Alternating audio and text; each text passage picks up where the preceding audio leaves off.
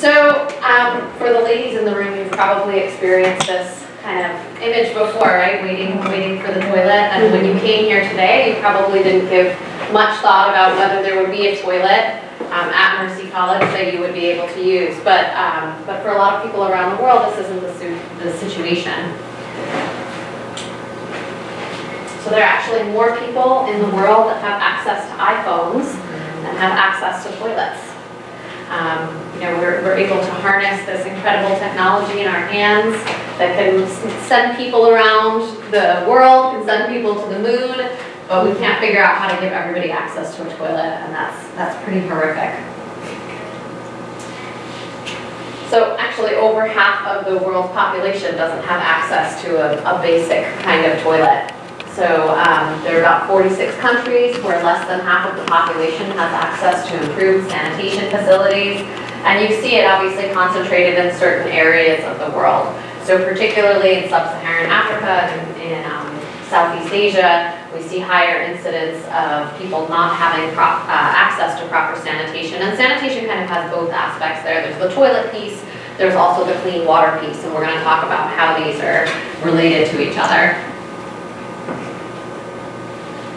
And when we're talking about a basic toilet, we're not talking about any sort of fancy kind of uh, access. We're not talking about this very, uh, you know, kind of high-tech eye poop toilet that they have here, right? And in different parts of the world, they have kind of made these toilets that are incredibly sophisticated. But we're just talking about a very basic toilet. And the, the concept here is that you are separating human excrement from direct human contact that those two things will at least initially be separated.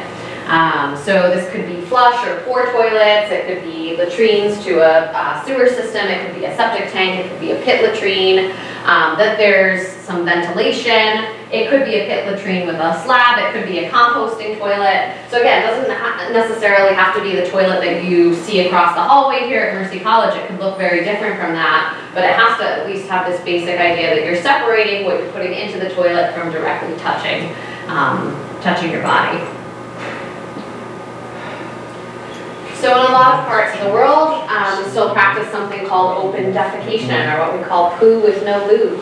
Right, so a little under a billion people around the world still practice open defecation, particularly high levels in India. So about 65% of the population in India um, practices open defecation, which means that they are going out um, into an open environment with no kind of surrounding air um, toilets.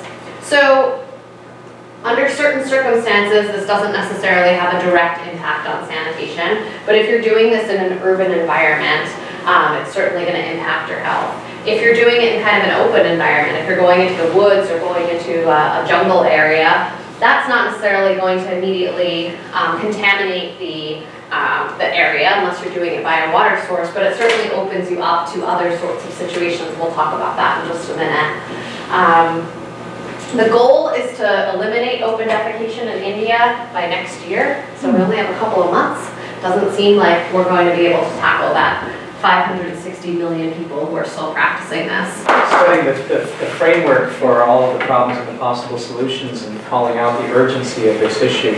And part of the interesting thing about the urgency is that there's an urgent need not just to build toilets and clean sanitation systems, but to change the mindset of people so we understand what toilets really do, what they are, and what is really causing the problem with them.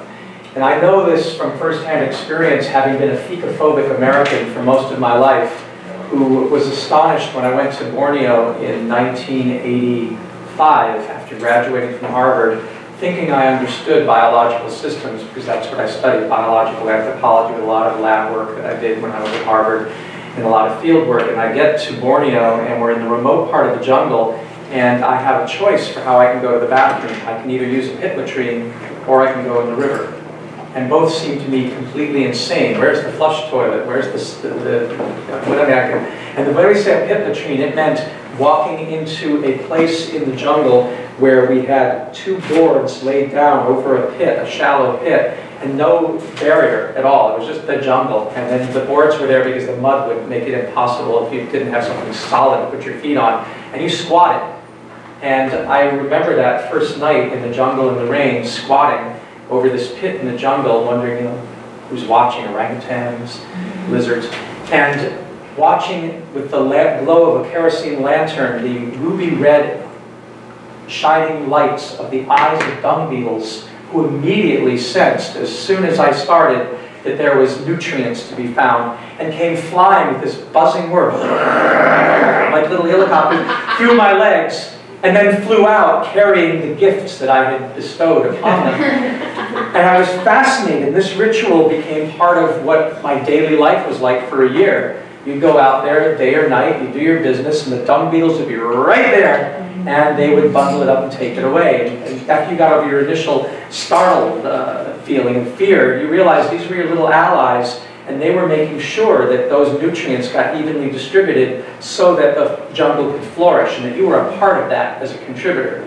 The next thing is moving to another site in the jungle there were no pit latrines, nor did we have the capability to dig them at the time that we were there, but there was a river. And I thought, ah, I've heard and, and been witness to many stories of contamination where people crap in the water and the people downstream get hurt by it. So I checked with the local Malayu people that we were living with, and they said, oh, that's only the case if they have overwhelmed the abilities of the fish.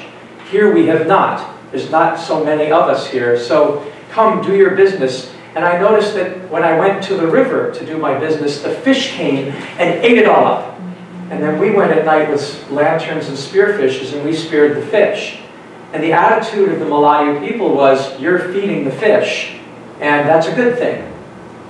So I thought, well, this is really weird. Now I'm learning from two different sites and two different jungles that the fish and the insects and the other wildlife depend on the nutrients that we bring back to them and yet I've grown up thinking this is a horrible thing that will cause disease. That troubled me because I went to another place in Sumatra where I got very sick and had to go to the hospital because of fecal contamination of the water, which made me go back to the other jungle site and say, hey, what's going on? And they said, well, they obviously overwhelmed the fish. You can't do this. This then led me to another journey to Sumatra to go to a place where I was at a fish restaurant where they had bird cages all over this pond, and the restaurant was perched on stilts over this massive fish pond. And I asked, why all the bird cages? And they said, this is how we feed the fish that feed you, on bird poop.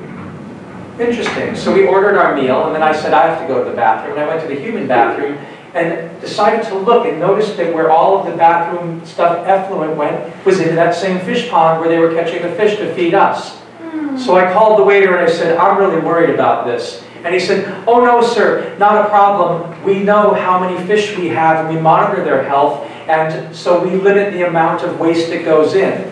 Now I don't know if that is being done in a healthful manner or not, but we did not get sick eating those fish. But what a, mind-bending experience for this year to encounter peoples who saw our fecal material as an asset rather than a liability, if it was in coherence. And when we came to, um, to Mercy College, this was my chance to see if we could do an effective urban biodigester system. So here is Newsweek magazine from the, when I first started at Mercy College, I guess that was what, five years ago? Six years ago? Six years ago. It was 2012, it was almost seven, almost seven years ago, right after Hurricane Sandy, when you brought me in.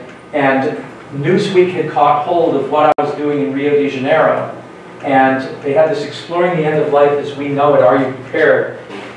And the article's lead was for Newsweek, Harnessing the Power of Human Waste to Survive.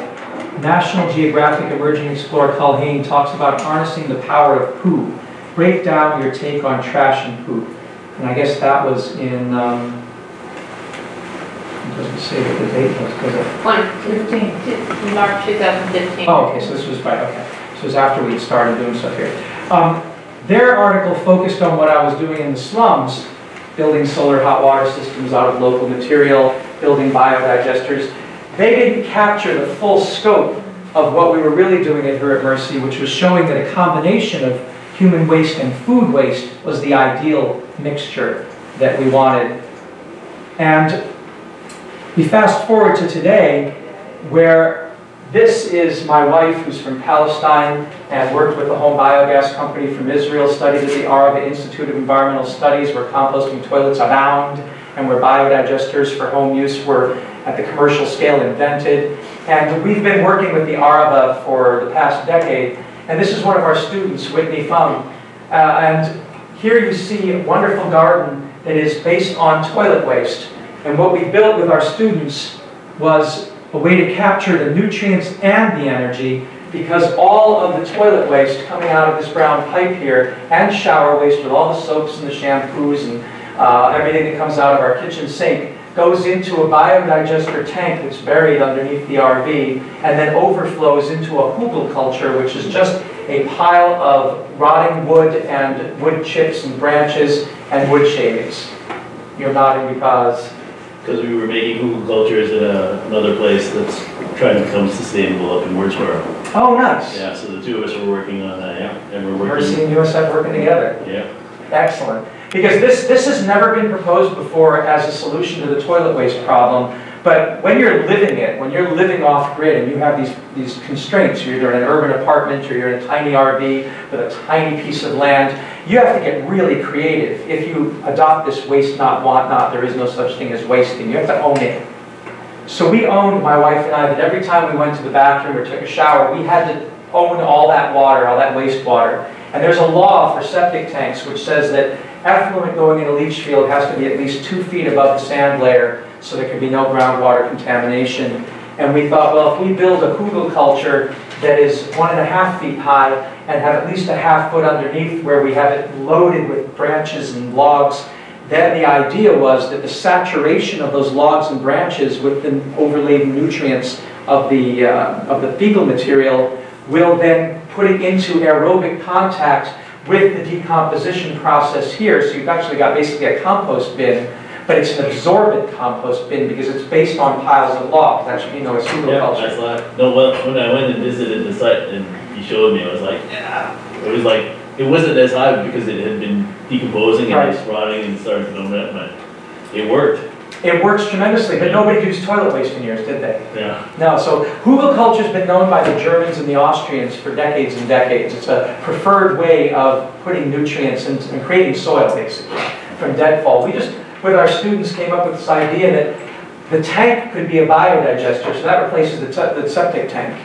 And then we get all the gas in the kitchen to cook on. But the overflow of any possible pathogens that weren't destroyed in the biodigester tank, which does kill 99%, 98% of all possible pathogens, could then go into an aerobic process that's living and create soil every day as the roots of the plants go in with their fungi, the mycelium, the hyphae, and they help to oxygenate it and introduce more biodiversity. And by golly, it really does work. And we think this is a landmark solution for replacing septic systems. And really, problem with septic systems is one, the tank that you use isn't plumbed right so it doesn't increase biodiversity so that the pathogens can be destroyed. It's too cold, it's got plumbing where the air can get in at the wrong stage in the process, it's, um, it doesn't have any mixing, and then it doesn't have enough surface area. Then when it comes out, you usually have gravel for your leach field that's buried too low, where you can have some escape of pathogens down into the groundwater. And the gravel eventually gets biofilm clog up and stops the movement and stops the aeration from coming and becomes itself septic. So we said, well, let's not use gravel. Also, every time people dig out their septic tanks uh, to clean them, they have to wash the gravel out, which costs a lot of money and labor, and then put it back in so the system will work again, and the perforated pipe gets clogged. Our solution is logs and branches, and they decay and become soil, as you know, and this is just sand over here. There is no fertility. So we're building soil all the time. There's no smell, there's no odor, and there's no possible pathogens. So we're really happy with this. And then, of course, we get this wonderful flame to cook on every day, and to have poop flame is fairly exciting.